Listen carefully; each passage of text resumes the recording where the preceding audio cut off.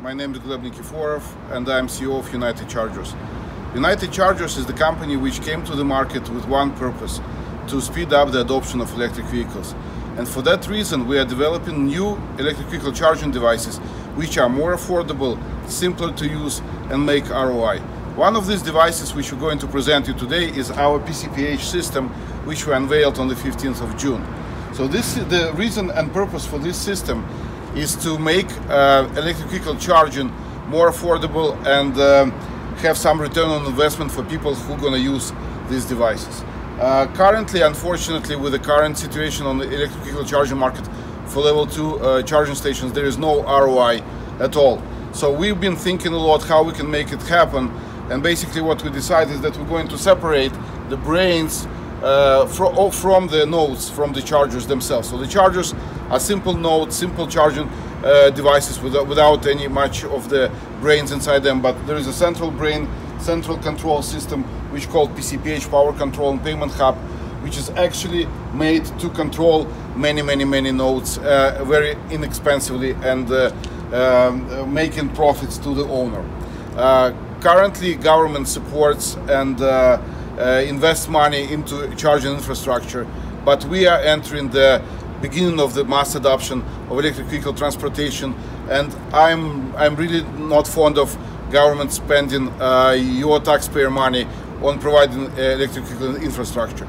It's supposed to end, and it's supposed to be native business. It's supposed to be normal business where people, uh, especially small uh, business, medium-sized business, will be able to purchase this equipment install it and make money of it. So there will be no need for government incentives anymore and this is our goal. So our goal is to make affordable electric vehicle charging stations, make very profitable uh, level 2 and level 3 which we're going to add later to our system, electric vehicle charging. So uh, in order to uh, embrace the adoption of electric vehicle transportation, we need to install millions of charging ports in North America within the next few years. And that's not going to happen if there will be no ROI. Small and medium investors, uh, any pop and mom shop restaurants, uh, plazas will not be able to afford uh, to uh, to carry the costs of providing electric vehicle charging. They need to make money. And this is what we're here for, and this is what we're doing. So today we're going to show you the first PCPH unit which we installed outside of our office and this unit is uh, set in a workplace mode. So I'm going to show you how easy and uh, simple it is to configure your system and to use it uh, in, in, in, any different scenario. And today we're going to start by showing you how it works for the workplace. So in the workplace, in a typical setup, we have four nodes here uh, it's a dual, a dual um, uh, stand for dual chargers, one node on this side, one node on the other side. They all have numbers on them, so you know and identify your charger. So when you come to the workplace and you park your vehicle, uh, you plug in your charger. Currently it's working in the uh, already charging, so it's uh, blinking uh, green. But um, when you just plug it in, it's going to blink blue and wait for your input on the PCPH system.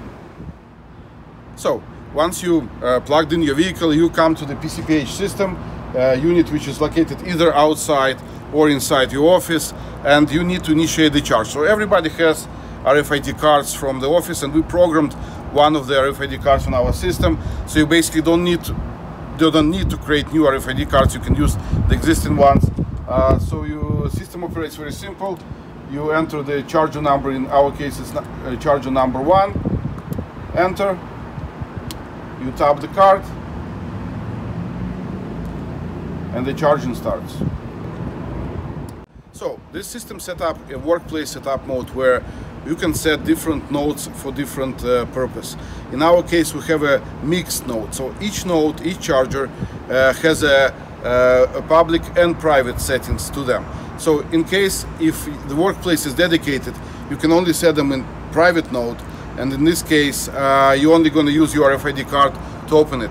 But in our setup here, we uh, visitors can come as well and using coin acceptor can pay money for, for charging as well. So in this case you can attract uh, additional people to your charging infrastructure and make money as well as provide your employees with electric vehicle charging and the system will generate reports and bills if you uh, supposed to charge your employees for electric vehicle charging as this is basically a taxable benefit.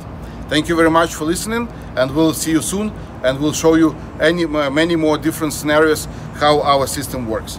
Thank you very much.